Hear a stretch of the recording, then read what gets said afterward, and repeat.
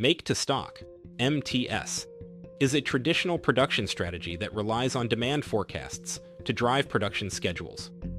In this approach, manufacturers produce goods based on anticipated demand and then stock these items in inventory until customer orders are received. The goal of MTS is to have enough product readily available in stock to meet customer demand instantly. MTS is commonly used in industries where the lead time, the time it takes to manufacture a product, is longer than the customer is willing to wait. It's also used for products with stable and predictable demand, where the risk of producing goods that won't be sold is relatively low. However, the MTS strategy comes with its own set of challenges. It requires accurate demand forecasting to avoid overproduction or stockouts.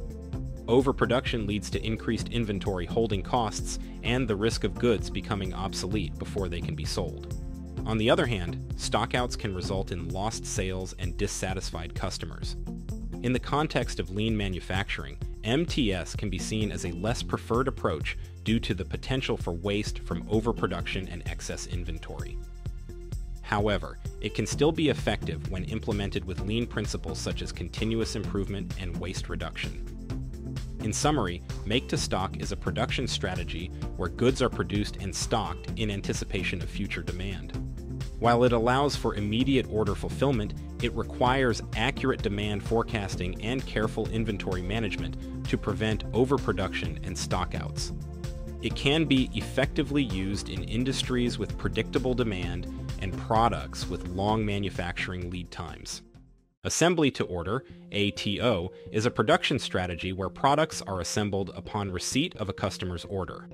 The key components used in the assembly or manufacturing process are planned and usually stocked in anticipation of a customer order. Receipt of an order initiates assembly of the customized product. This strategy is useful where a large number of end products, based on the selection of options and accessories, can be assembled from common components. ATO strategy reduces the need for maintaining a large inventory of finished products, thus saving on inventory holding costs and improving cash flow. It also provides a way to offer customization of the final product to the customer's specific needs. However, it requires a well-organized production process to ensure that components are available when needed and that assembly can be completed in a timely manner.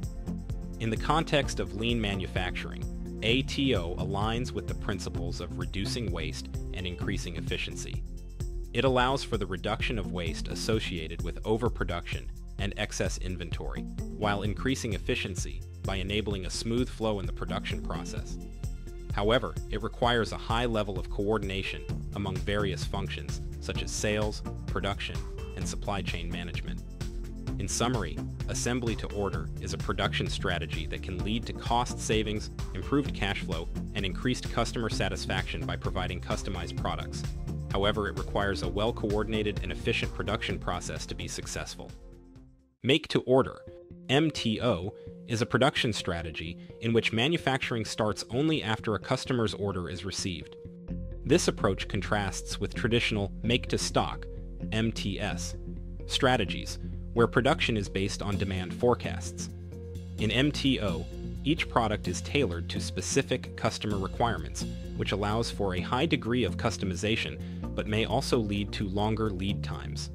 This is because the production process only begins when the order is placed, and the product may require unique components or configurations. The MTO strategy can be beneficial in situations where products have a high degree of customization or are very expensive to produce, making it impractical to maintain a large inventory. It can also be advantageous in industries where products quickly become obsolete. However, the MTO approach requires a robust and efficient production process to ensure that products can be manufactured and delivered in a timely manner. It also requires effective communication with customers to accurately capture their requirements. In the context of lean manufacturing, MTO aligns with the principles of reducing waste and increasing efficiency. It allows for the reduction of waste associated with overproduction and excess inventory, while increasing efficiency by enabling a smooth flow in the production process. In summary, Make to order is a production strategy that can lead to cost savings, improved cash flow, and increased customer satisfaction by providing customized products. However, it requires a well-coordinated and efficient production process to be successful. Engineering to order, ETO, is a production approach where the product design is engineered and finalized based on specific customer requirements. This approach is typically used for products that are unique, complex, and not mass-produced, such as specialized machinery, large-scale industrial equipment, or complex construction projects. In the ETO process, the product does not exist until the customer places an order. Once the order is received, the design process begins, taking into account the customer's specifications and requirements. This could involve modifying an existing design or creating a completely new design from scratch. The ETO approach requires close collaboration between the customer and the manufacturer throughout the design and production process. This ensures that the final product meets the customer's needs and expectations. It also allows for flexibility and customization, as changes can be made during the design process based on customer feedback. However, the ETO approach also presents several challenges. It often involves longer lead times, as the design process can be time-consuming, it also requires a high level of engineering expertise and resources. Additionally, it can be difficult to accurately estimate costs and timelines due to the unique nature of each product. Despite these challenges, the ETO approach can provide significant value for customers who require highly specialized products. It allows for a high degree of customization and can result in a product that is perfectly tailored to the customer's needs. For manufacturers, it can offer a competitive advantage by enabling them to meet unique customer needs that cannot be addressed through standard products. Make to Forecast, MTF, is a production strategy where manufacturing is based on predicted customer demand rather than actual orders. This forecast is typically derived from historical sales data, market research, and trend analysis. The goal of MTF is to have products ready for delivery as soon as a customer places an order, thereby reducing lead times and improving customer satisfaction. In an MTF system, production planning and inventory management are crucial. Companies must accurately forecast demand to determine how much of each product to produce. This requires sophisticated forecasting tools and a deep understanding of market trends and customer behavior. However, MTF also carries risks. If the forecast is inaccurate, companies can end up with excess inventory if they overestimate demand, or stockouts if they underestimate demand. Both scenarios can be costly. Excess inventory ties up capital and increases storage costs, while stockouts can lead to lost sales and damage to customer relationships.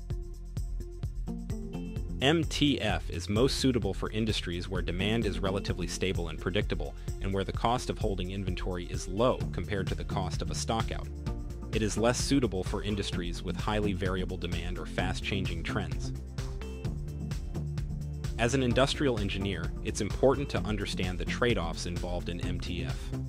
While this strategy can improve responsiveness to customer orders, it requires accurate forecasting and careful inventory management to be effective.